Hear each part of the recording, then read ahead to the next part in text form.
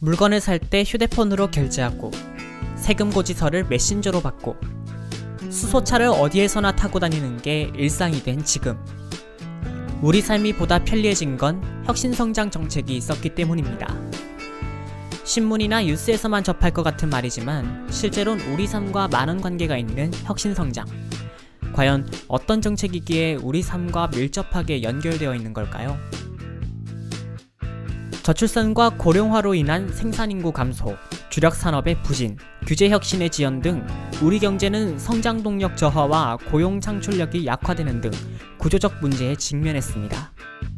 혁신 성장은 경제 사회의 구조와 체질을 근본적으로 바꾸고 사람 중심 경제를 실현하는 경제 전략으로 민간 주도의 산업 혁신과 제도 개선을 통한 사회 제도 혁신이 핵심입니다.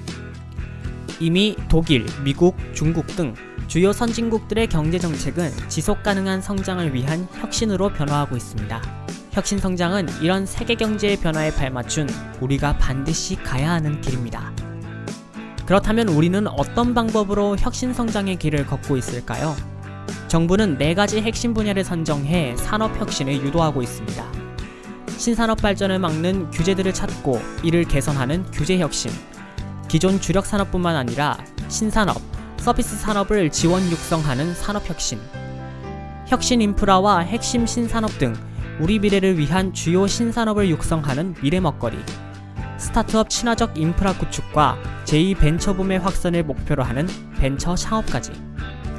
이런 산업혁신 외에도 신산업 인재 양성과 노동시장의 구조개혁, 공정경제 실현을 위한 정책 마련 등 사회제도 혁신을 통한 건강한 경제, 건강한 사회를 만드는 기반을 다지고 있습니다. 혁신 성장을 통한 변화는 이미 시작되었습니다. 규제 샌드박스와 같은 규제 혁신을 통해 신산업 발전에 어려움을 주는 규제들을 과감히 개선하였고 신산업의 지원과 육성을 위한 집중 투자 및 법적 기반을 마련하였으며 벤처 창업의 생태계 개선으로 제2벤처붐이 가시화되었습니다.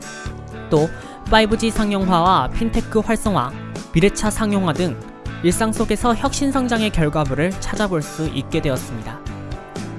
우리 경제는 어려운 상황에 직면해 있습니다. 혁신 성장은 이런 어려운 경제 상황을 발판 삼아 산업과 사회제도의 혁신을 통해 더 강하고 더 살기 좋은 대한민국을 만들기 위해 노력할 것입니다. 경제가 숨쉬고 삶이 행복해지는 대한민국. 혁신 성장이 국민과 함께 만들어갑니다.